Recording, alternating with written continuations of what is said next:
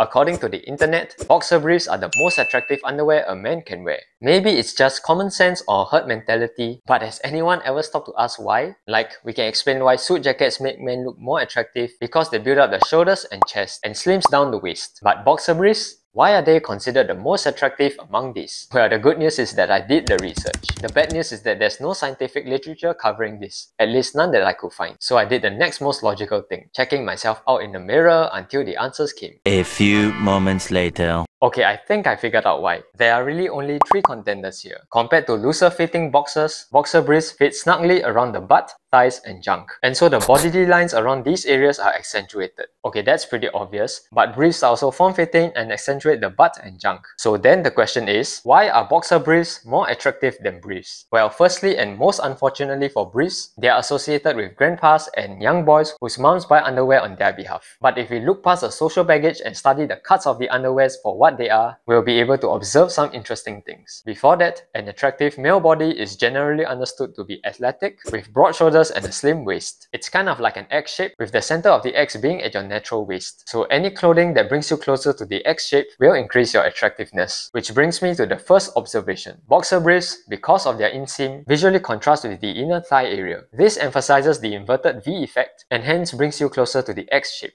Now compare this to briefs where there isn't any inseam. And although briefs do give give rise to a V shape on the crotch, a V shape would only look good on the upper body. And since the V shape of briefs are way below the ideal center of the X, this distorts and minimizes the X effect. However, the good thing about briefs is that because there is no inseam and they are cut high up the thighs, your legs can look longer and can be an option if you're on the shorter side. But the trade-off is that you have a more feminine silhouette. This is because the cut of the briefs follow the hip line and makes your hips look much wider, thus bringing you closer to an hourglass silhouette associated with a feminine body. Now compare this to how boxer briefs are cut, where the fabric goes past your hips and ends at the thighs, thus not bringing attention to the hips and directs the eyes towards your thighs. Which brings me to the next observation that your thighs will look more muscular in boxer briefs. Of course, if your thighs are already muscular, it won't make much of a difference wearing boxer briefs or briefs. But for those of you who have slimmer or skinnier thighs, boxer briefs will do the same to your thighs as a snug t-shirt would to your upper arms. Basically to make them seem more muscular than they are. Briefs, on the other hand, practically expose your entire leg and is similar to wearing a tank top which exposes your entire arm. If you're skinny, this exposure, whether at the arms or legs, is an unflattering look. Okay, I hope you found this video